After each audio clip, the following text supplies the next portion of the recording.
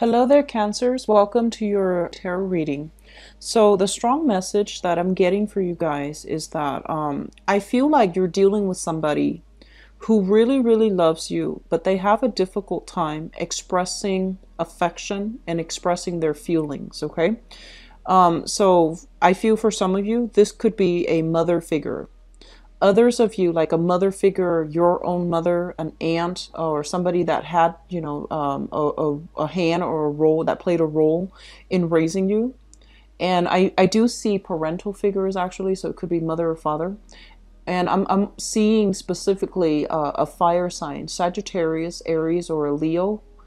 And then for others, it could just be, you know, somebody that you are in a um, romantic relationship with. So I'm seeing more family and romance.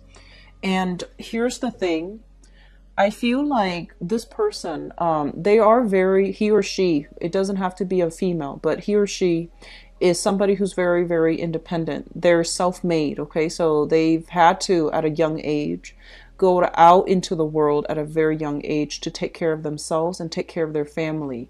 So it's almost as if they had to grow up really fast and they had to take care of a lot of responsibilities in the practical front. And they had a lot of people who were dependent on them to be successful. So, you know, childhood was uh, was not lived. Um, life was about survival. It was about, you know, making money. It was about taking care of siblings, taking care of parents, living up to other people's expectations. So I feel like this person um, in the in their voyage of life, they might have just uh, neglected the emotional development, and uh, I feel like uh, it's it seems to me like they needed a lot of validation, you know, and they didn't get that growing up, and it feels to me as if. Um, rather than expressing, hey, you know, I really want you to stay home with me today, or I really want to hang out with you, and rather than just saying that, they, they feel uncomfortable, they feel embarrassed expressing their softer side because they weren't taught how to do that. They weren't taught how to be vulnerable, and they equate vulnerability with weakness. And so they never tell you what they want and they never tell you how they feel. And whenever, you know, you don't spend time with them, then they get like angry. And so I feel like you're dealing with somebody like this and um, you're racking your brains trying to figure out like what's going on? Are they okay? I feel though honestly i feel some of you are flattered that the other person behaves this way kind of like throwing little tantrums. And uh, some of you are flattered that they really care about you and i feel like they genuinely really care about you. But i also i'm, I'm a little bit worried because i feel like they're not able to express themselves in a healthy way and so if you're dealing with this person, you need to, you know, have a conversation and you need to call them out when they are behaving emotionally irrational. They're behaving in an emotionally irrational way. So that could be like, you know, if they're upset with you and you can just say like, well, can you please let me know what you want from me? Because I can't read your mind. I don't know what you want from me. So it feels like when you want you you mentally want something and I didn't know and I don't deliver, you get mad at me. So I feel like you need to have a conversation and try to flush this out and try to encourage them to be a little bit more verbally and emotionally expressive about what they want, about what they need, and not to be embarrassed about it because I feel like this is a really good person. Um, they're just a little bit immature emotionally, and they, you know, a, a, good relationship can be had. It just seems like it's a little bit tumultuous because they expect you to read their minds. Okay.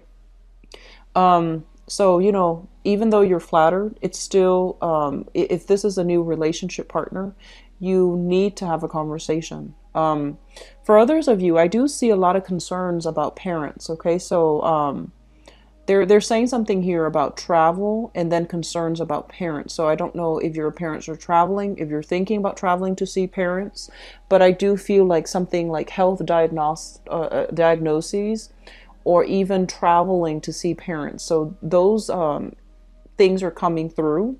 Um, the health situation, it will be okay. It will work itself out. But I do sense that they need you as well. So, you know, keep in contact with them, see if they're okay. Check up on your parents, okay? And see if there's anything they need help with.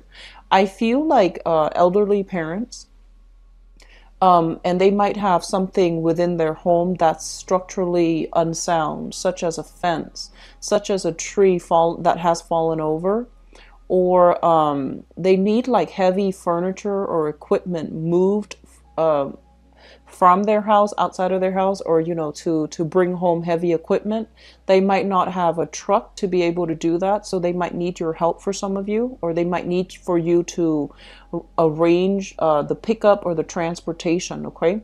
So i feel like um, your your parents especially if they're on the older side they might need you to physically haul something for them or to help them arrange some movers to help them move okay? So um, reach out to your parents Cancers and see if there's anything that you can help them with okay? It could just be um, arranging for a pickup arranging for removal or or removal or helping them arrange some heavy items okay?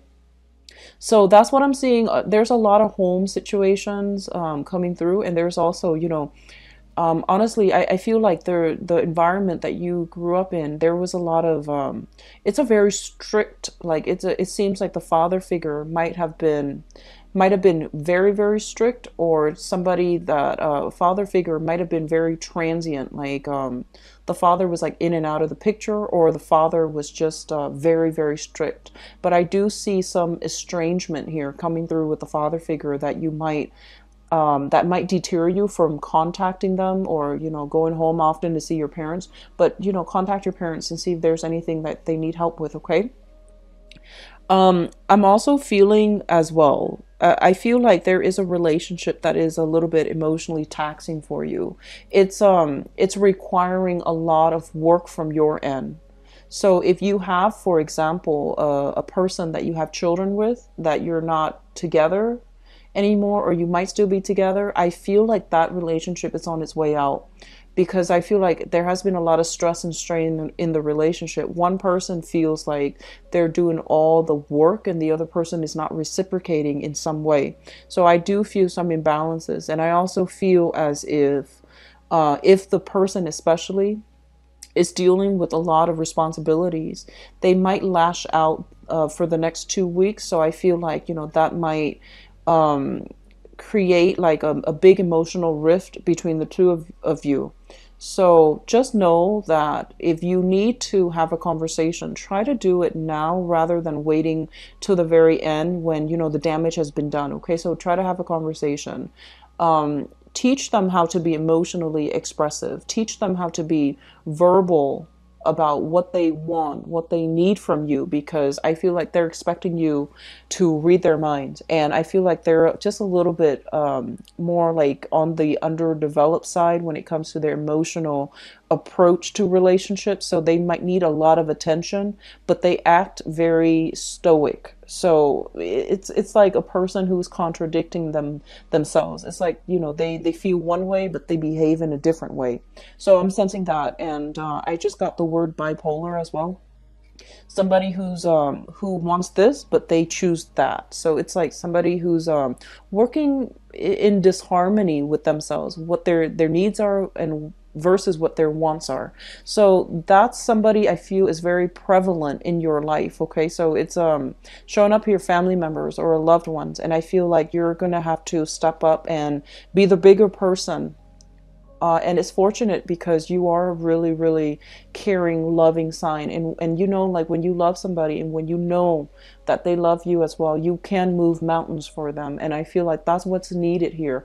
A little bit more of an understanding a, a gentler touch kitty gloves as well when dealing with this person so that you can um you can like um I, I guess like you know wave away their fears because I feel like they they they they have dealt with a lot of fears and they had to grow up too fast. So I hope that you can you know stay calm and collected and just um, emotionally available for this person because I feel like they need you. Okay, they might not know how to verbalize it, but they need you to just um, give them a little bit of leeway is what i'm sensing all right? I do wish you the best cancers. If anyone can do it it's going to be you okay? You're you have a really good heart. So uh, best of luck with this situation okay? Take care of yourself and i'll talk to you soon. Bye bye